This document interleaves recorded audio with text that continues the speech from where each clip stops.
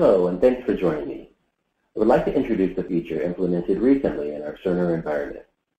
In the past, when creating a document, such as a progress note, once you save the note, the note type, note title, and date of note creation was also saved.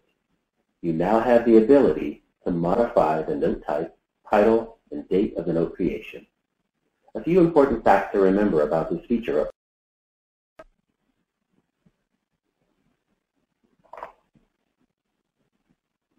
Changing the note type is handled as an addendum to the note.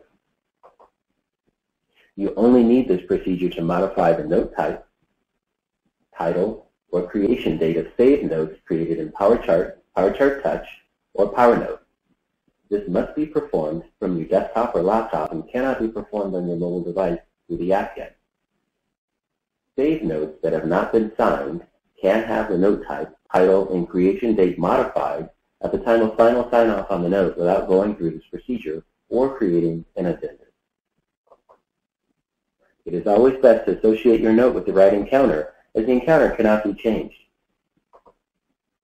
Being specific and accurate in your note type, title, and date helps immensely when it comes to finding that important information later in the patient's care. It is always best practice, faster, and more efficient to verify the note type, title, and date at the time of the note creation and before you sign a note. So let's get started. If you have created a note and must change either the note type, note title, or date of creation after you've saved and signed the note, you must locate the note from either your workflow page, summary end page, physician documents section, or note section of the patient chart. For the purposes of this demo, we will locate the document from the workflow page.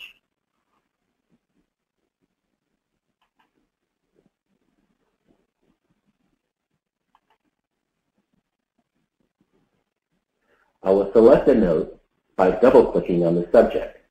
The note will open either in a main window or a new window, depending on the setting used to open the note.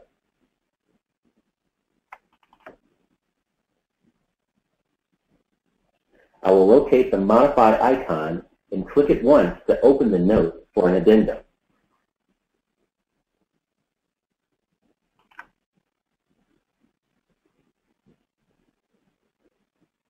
You will notice at the bottom of the note window, note details in blue writing.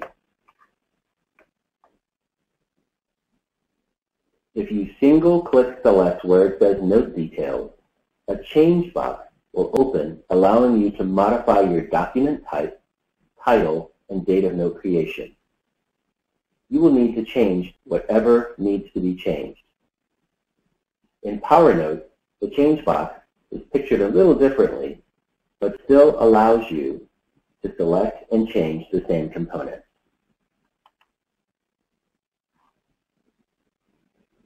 I will change the note type.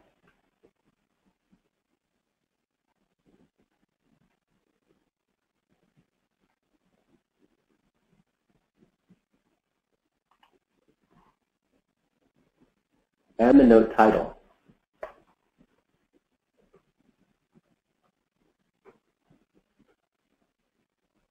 I will also change the note date.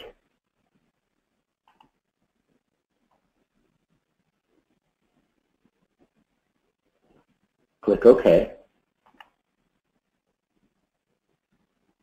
And an information window will pop up, allowing you to verify that you have made changes to this note type, and you will need to select Yes to continue. After you select Yes, you will need to note in the addendum that the note type, title, or other information of the note was changed.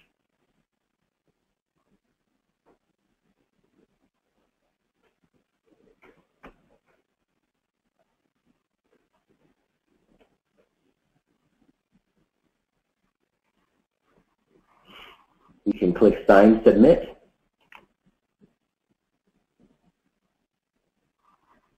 And you will notice that the document has been updated with an addendum.